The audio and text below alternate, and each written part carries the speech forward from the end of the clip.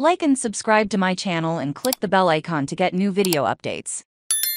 Katy Perry expands non-alcoholic aperitif line The spirits business pop star Katy Perry's non-alcoholic aperitif brand, De Soi, has added a new flavor to its range inspired by rose wine. DeSoy Très Rosé complements the brand's existing three variants, Golden Hour, Champagne Dreams and Purple Lune which are vegan, gluten-free and non-GMO, and contain no artificial flavors or colors. Inspired by the French ethos of indulgence with restraint, De Soi is pronounced DeSoy. Très Rosé, is described as a bold and balanced rose-inspired ready-to-drink canned aperitif, reputedly reminiscent of the ritual, is reminiscent of a sparkling Brut rose, while displaying notes of bright red fruit and subtle floral. Notes. The drink is made from a blend of adaptogens, including lion's mane, combined with calming saffron and relaxing botanicals, such as rooibos. Très Rosé is blended in, presented in a can shape that features playful patterns and shades of pink,